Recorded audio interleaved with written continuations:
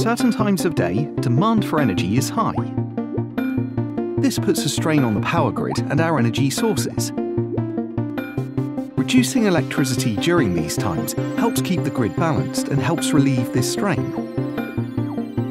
Balancing the grid this way is called demand side response, or DSR. The challenge with domestic DSR is the lack of engagement.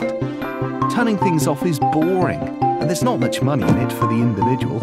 Why would you turn your washing machine off for 10p? The solution? A game.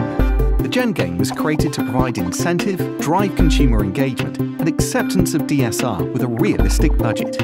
Here's how it worked. Specific network areas within Northern Powergrid's region were targeted with Facebook marketing.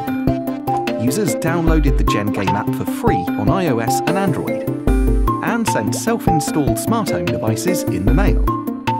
Once set up, players were notified by the app at peak times or Gen Game times. The more they reduced their energy use at these times, the more points they earned. These points were used in competitions to win real cash prizes. Prizes are a great incentive to reduce energy, but will people play for fun?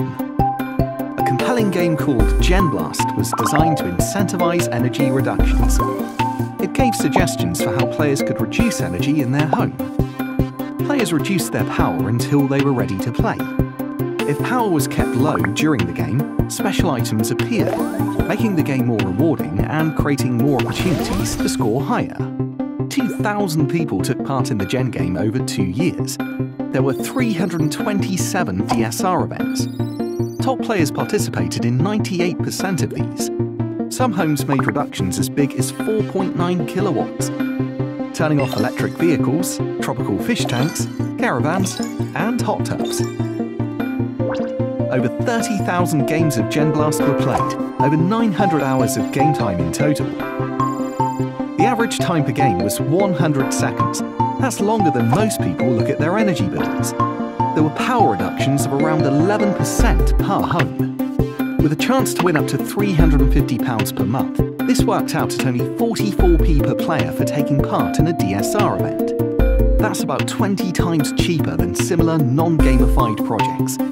Traditionally, DNOs reinforce the power network to address issues.